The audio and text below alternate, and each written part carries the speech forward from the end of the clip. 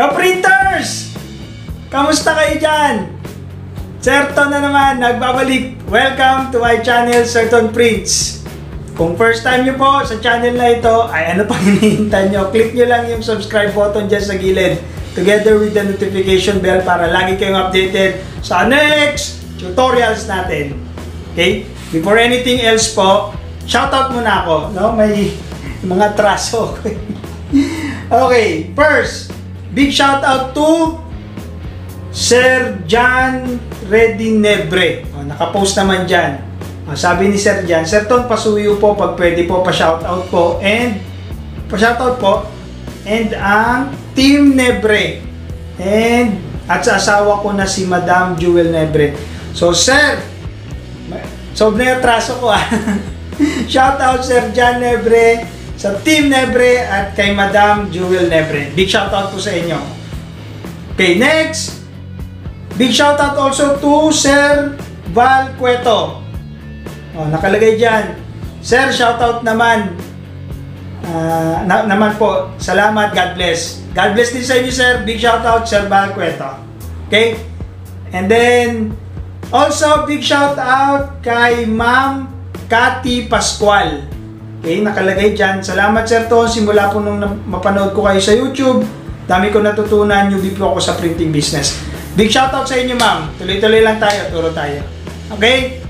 Ah, Maraming maraming pong salamat sa patuloy na pagsubaybay, panonood ng ah, channel ko, Serton Prince. Approve! Okay. Now, ngayong araw o ngayong particular tutorial natin, napakahalaga, napaka-importante ng pag-uusapan natin. Okay? Isa to sa mga most requested na ah, tutorial. Okay? At napakaswerte nyo kung nanonood ka ngayon ng tutorial na ito. Kasi ah, isa to sa mga hindi kadalasan na itinuturo pagdating sa ganitong larangan. Okay? Ah, ano ba topic natin ngayon? Ito yung computation ng costing para makapag pricing kayo ng tama sa materials nyo or sa products nyo. Ha? Ito po, disclaimer po, lahat ng sasabihin ko or yung ituturo ko is based on my experience at hindi ko sinabi na ganito mismo ang values or yung computation na ilalagay nyo. Okay? Kayo pa rin po ang magde-decide kung magkano or ano yung value na iseset nyo dun sa mga particular na items na ilalagay natin.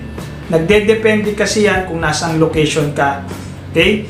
So, ah, bibigyan ko kayo ng idea kung paano mag-compute para hindi kayo mahirapan mag-price ng inyong mga produkto. Okay? And then, ah, para maging discreet, yung mga members lang or mga subscribers o kung sino lang yung makakapanood sa video na ito, ito sa vlog natin, ah, sila lang yung makaka, syempre, makakaintindi at makakaalam nung, nung ituturo natin ngayon. Hindi ko ito ipopost sa sa ibang social media. Okay? Kasi kung mapansin nyo, yung mga ibang vlogs natin, pinopost ko rin sa ah, Facebook ko or sa ibang groups. No? For this particular tutorial, hindi ko gagawin yon. Okay? Kasi nga, medyo ah, medyo discreet yung pag-uusapan natin. Medyo pang-atin natin lang mga ka-printers ng Serton Prince. Okay? So, let's start! Banat kagad tayo. Pricing. Labas ko yung aking mahiwagang oh, mag-compute tayo eh. Okay? Makinig mabuti. Okay? Kasi Ah, hindi ko na uulitin malamang yung mga ituturo ko. Pwede niyong ulit-ulitin panonood. Okay? Ah, para hindi rin kayo mawala. Pero isa-isayin natin syempre. Okay? Para solve na solve, ayahay. No? Again, disclaimer, hindi ko sinabi na ganito ang eksaktong magiging ah, value computation nyo. Bibigyan ko lang po kayo ng idea kung paano i-compute ang pricing ninyo. Okay? Kung mapapansin nyo, pag, nagtaon, pag may nagtanong sa ibang groups or may mga nababasa kayo na nagtatanong magkano dapat i-price sa ganitong material or kahit kayo mismo pag nagtanong kayo sa iba or kahit sa akin, di ba, pag tinatanong nyo ako, ano ang common na sagot ko? Sir or ma'am, i-compute mo muna ang costing. Kasi dun talaga magsisimula ang lahat. Costing ka muna bago ka makapag-pricing. Okay, paano ba yan? O, simulan natin. Siyempre, basic t-shirt. Okay, sample t-shirt. Ganito natin para hindi ako mahirapan. T-shirt. Okay. Sana kita nyo dyan ha. T-shirt. Ayan, kita naman, no? Maliwanag. Dito kayo mag-focus, huwag kayo mag-focus sa mukha ko. May napapansin ba kaya? Tingnan niya. Tingnan niyo yung... ah, ah, anong bago? Ay, ring light. okay. Dito kayo focus, huwag sa mata kung may ring light, no? Ah, t-shirt, for example. Ah, let's say, ang price ng t-shirt na plain, no, na binili mo, let's say, for example, 80 pesos. Sample lang. Okay, sample lang to ha, sample lang. Gusto kong mag-print, let's say, DTP, that transfer paper. Magkano DTP? For example na lang, hindi natin, for example, 30 pesos. Okay? Uh, papricingan natin yung print. Sample lang ha, sample. O, 5 pesos. Yung cut, 5 pesos. Yung press, press, press mo sa fabric. Okay? 5 pesos. Sample lang. Ano pa?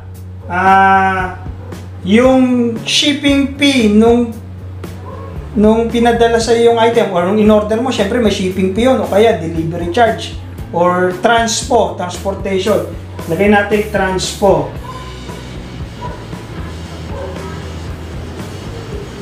Transpo nung pagkuha mo ng item, okay? Or delivery sa'yo. Let's say 5 pesos din. Okay? Tapos, samahan na rin natin para hindi ka naman lugi sa pagod mo, labor.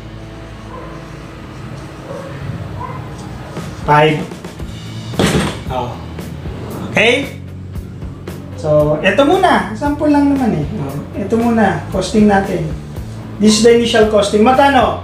80, 30, 1, 2, 3, 4, 5, 25, plus 30, 55, 100, 35 pesos. This amount is the total costing or total cost para ma-produce mo yung item. Okay, para makapag-print ka ng isang t-shirt na DTP, ang ipiprint, ang total cost niya to produce is 135. Oh, ito na ba yung ipaprice mo? Hindi, cost pa lang yan no item para ma-produce mo siya. Anong gagawin ko kay 135? Ang pinakamadali na formula is simply multiply ng 2. This is the magic uh, number. Sir, bakit multiply by 2? Okay? Minumultiply ito ng 2 kasi ang logic po dyan, just in case mag-reject ka dun sa item na ginagawa mo. Halimbawa, nagpiprint ka, no? Na-reject mo yung item. Yung times 2 na yan, siya ang magbabayad ng lahat ng to. So, wala kang nalugi. No? Ang nalugi lang sa'yo oras. Bakit? Si times 2 babayaran niya lahat yan. Oh. So, times 2, 135. Ito ngayon ilan? Magkano? 270.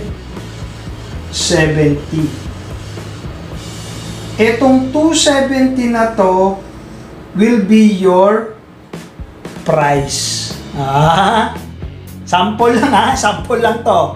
Di ko sinabing ganito mismo yung computation nyo. Okay? Si 270 yun yung price mo. Now, okay? Oh, maliwanag bakit times 2 ah. Yun yung pinakamadali na formula. Times 2.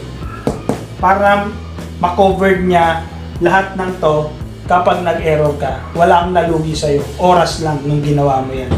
Now, may papasok tayo na tinatawag na markup. Markup. Ano yung markup? Sa madaling salita, si markup yung price na gusto mong kita for this particular item na project. Sample, no? Sample. Ang gusto kong markup, let's say, ah, 50 pesos. Sample, ha? Sample. So, 270 plus 50, that will be 330 pesos. Etong 330 na to, this will be your highest offer. Initial offer is, lagay ko HO ha, highest offer ng item mo, 330. Lowest offer mo is si 270. Okay? In between, pwedeng maglaro yung price mo. Dito lalaro. Okay? Nakuha ka agad? Ang bilis, di ba? Lang kahirap-hirap. Sample lang to. Kayo magpo-provide ng mga ah, prices dito sa mga to. Kasi magdidepende yan, nasa ang lugar ka. Magkano ba bili mo dun sa t-shirt sa, sa lugar mo? Magkano DTP? Okay? Magkano transpo papunta dyan sa area nyo nung items mo? Pa-print, etc. Kayo maglalagay niyan. Kaya nag-iiba-iba ang pricing. Okay? Ah, basic to. Ah, baguhin natin yung item. Okay? Tandaan nyo to ha, babalikan ko to mamaya. Paano kung binil? Ah, binil. So papalitan ko si DTP, gagawin kong binil. Gawin ko tong binil. Magkano binil? Ah, sabihin natin ah 150 per meter, anim magagawa. Per A4 ang ano natin ha, anim, 150. Pagpalagay natin siya na 25 na lang. No? 25 pesos per isang ah, A4 size. We're talking about A4 size din ha. Sample lang naman. O, 25. This is vinyl naman ha, sample. So, hindi ko napapalitan. Siyempre, ah, walang print ang vinyl. Cut lang siya. Mawawala to, sample. Tinanggal ko si print. Ano lang siya, cut and press. May bayad yung transpo, pa-deliver sa ng item or pamunta ka dun sa tindahan para kunin yung item tapos labor mo. So magkano lang? 80 ah, alisin natin to. Alisin natin.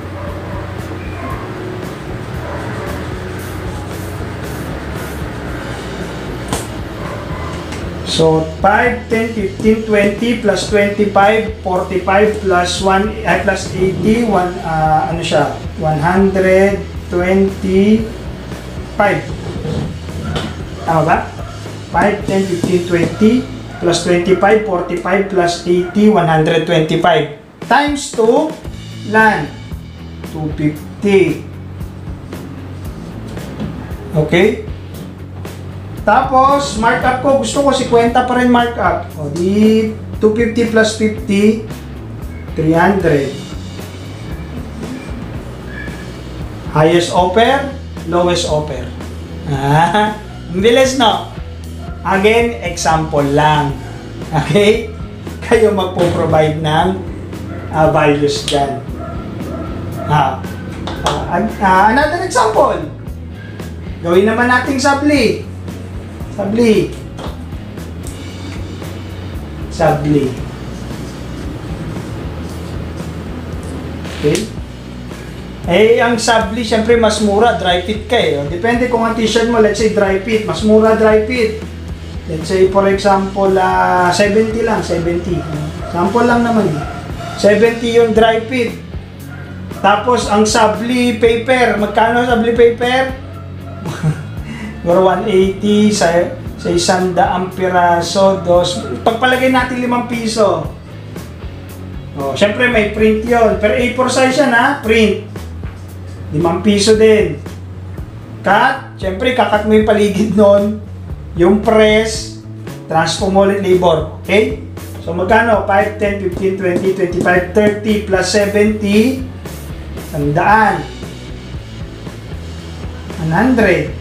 Total cost. Times 2. Di 200. 200.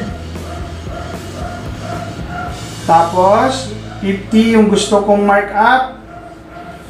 That will be 250. O ha? Highest open, lowest open. Approve. Ang bilis mag-compute, no? O, sample lang to. Okay? Hindi ko sinabing ganito mismo.